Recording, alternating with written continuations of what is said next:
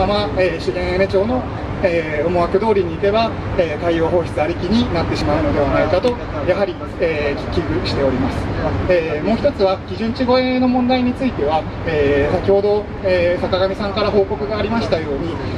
第1回の資料では多少、えー、他の放射性物質も出ている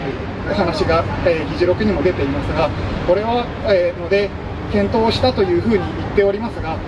問題なのは国字濃度超えの回数があんなにいっぱいあんなに上回る要素129等が、え出ていたということを知っていたのかということを、えー、我々問い詰めたところ、えそれについての回答はありませんでした、え、なので、えー、ぜひ問題は、えー、国字濃度超えのものがあんなにあったのということを、えー、認識していたのか、まして国民に説明していたのかというのは大問題だと思いますので、えーと、引き続きこうした問題について、えー、問うていければと思っております。えー、よろしいでしょうか。はい、ありがとうございます。えー、ご通行中の皆さん、えー、私たちは今日この飯野ビルで開かれます、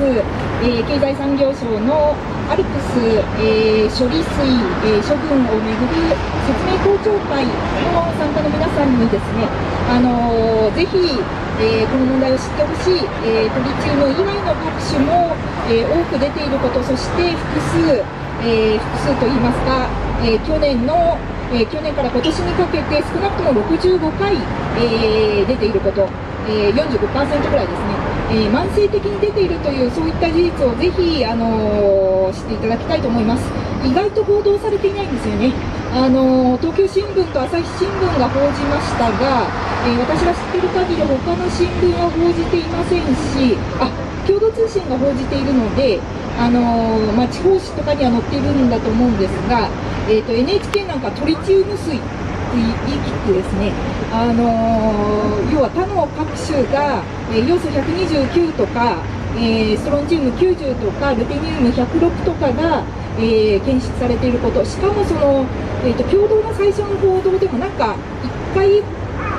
回検出されたのかな的なあの印象を持つような慢性的にあの検出されているというそういった状況が実は新聞は報じていないのかなと思います。えー、ということであのこれは説明公聴会の前提は崩れていると思いますし今、水戸さんのお話にありましたように検討委員会ではあの少なくとも資料としては、えーと、問題ないデータがわざわざ古いデータが使われていて問題がないというようなデータしか使われておらず少なくとも、えーと去年から今年にかけての65回にも及ぶえ要素129の告示濃度超えについては、え委員には説明されていないと思います。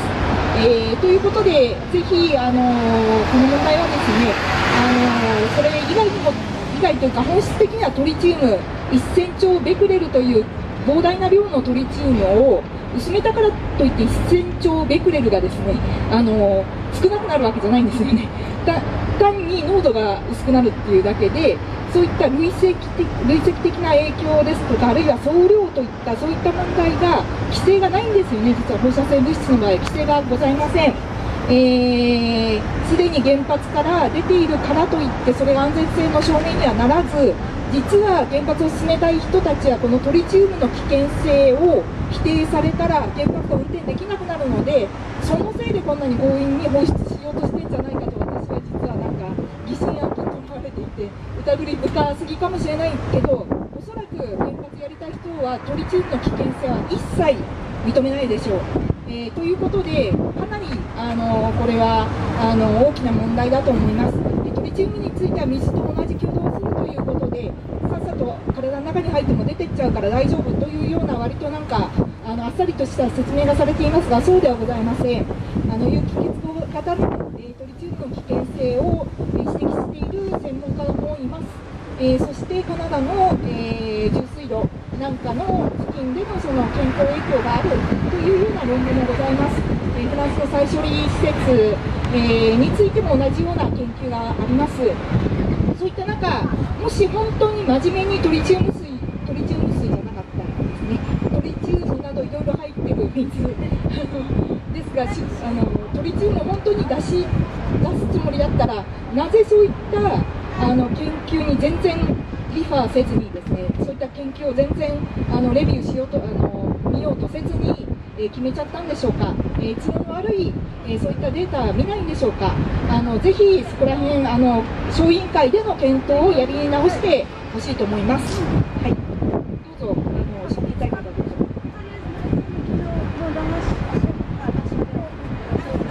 山田さん。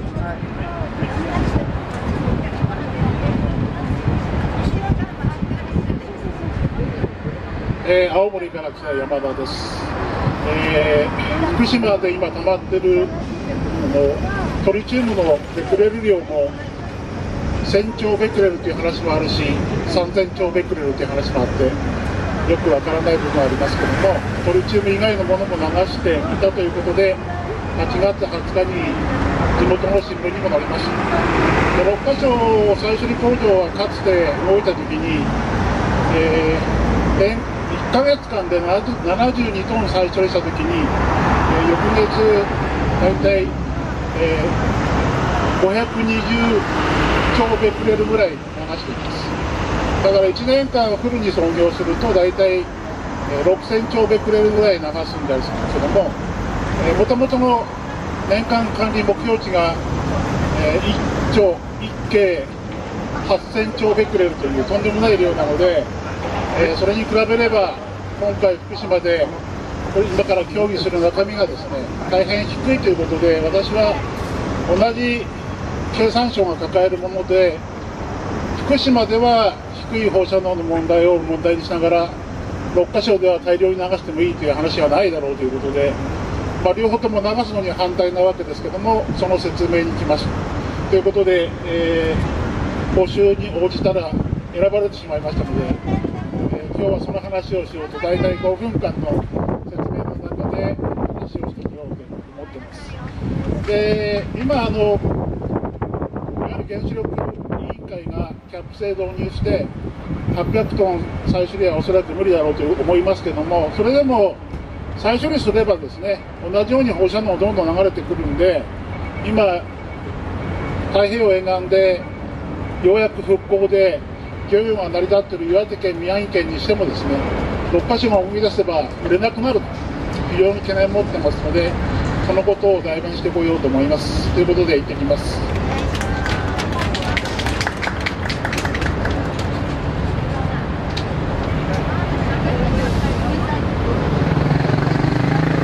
はい、えーと、ありがとうございました。じゃあ、あの発言される方とかも皆さん中に入られてたんですけれども、えー、もう中入った方がいいですか、あの校長とか、校長会予約している方は中に入られてください。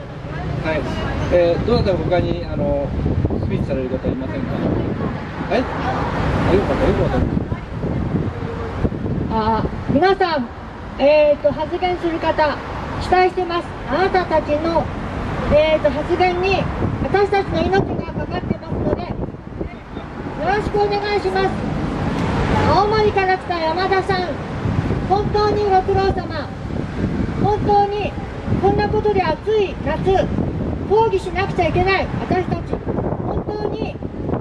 嫌な政府を持ったものだと思って本当に悔しいです。私たちこれ以上汚染水放射能を出しちゃいけない。環境中に放射能は出しちゃいけないんです。トリチウム水。それもトリ、えーと、アルプスの処理水ですか？トリチウム以外のさまざまな放射性物質入ってるということを聞きました。それを流す。そんなこと絶対に許されません。えー、っとなんか昨日か一昨日の新聞にリチウムを、えーと、取る簡単な方法が安くて簡単な方法があるとか、えーと、関関西の方の近代ですか？あれでなんか発表がありました。これからももっといい方法もあるかもしれない。今急いで汚染水を出す必要はない。なんかあのー、えー、ジャパンのおしどり中赤ちゃんの話によるとそんな急でやらなくても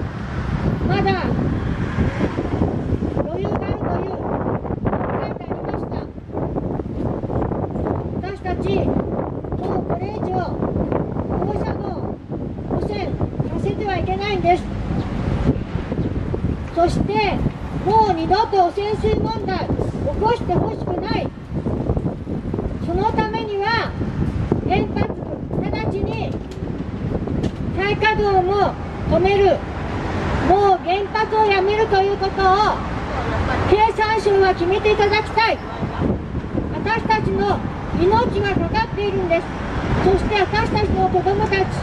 そのまた子供たちの命がかかっている原発直ちに止めることを要求しますはい、ありがとうございます。他にどうなったか、はい、どうぞ。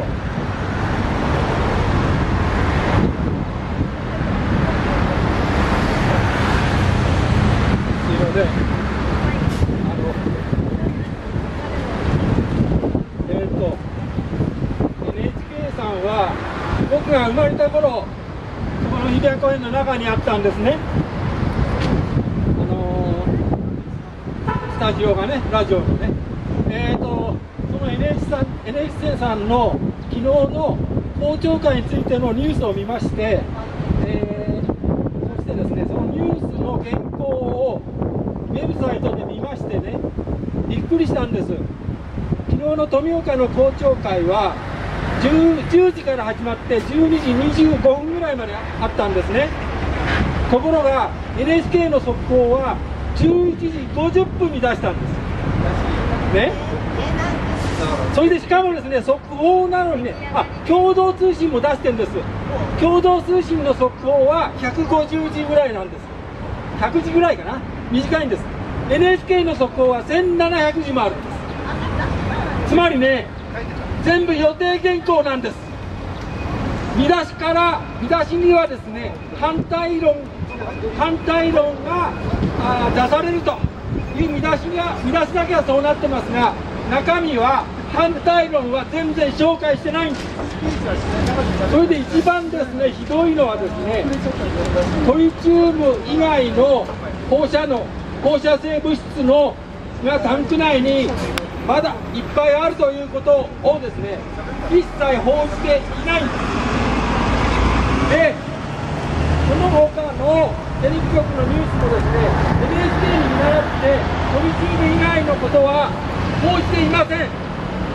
つまりですね、私が感じたのは、NHK は専門家がいるから、模範となる記事を早く出して、それに見習われという工作が行われていると確信しました。NHK さん、聞いてください。今日はちゃんと真面目に報道してくださいね。以上です。ありがとうございました。全くその通りだと思います。はい、このニュースが結構ね、あの話題になってます。はい、じゃあはい、石川さん、そうすみません。あの今から私は傍聴します。ちょっと申し込みが遅れてしまったので、あの傍聴しかできなくて意見陳述はできないんですが、一応意見を出しました。で、その提出した意見、これはまあ、あの受け取ったけど、あの陳述は無理だっていう返事をもらったんですが、それを述べます。私はトリチウム汚染水の海洋放出に反対する7つの理由1トリチウムをどこにも放出するべきでない人類は産業革命以来一人でできること以上の過大な力を得て地球上の全ての命に多大な被害を及ぼしている。中でも核兵器はその破壊力とともに発生する放射性物質も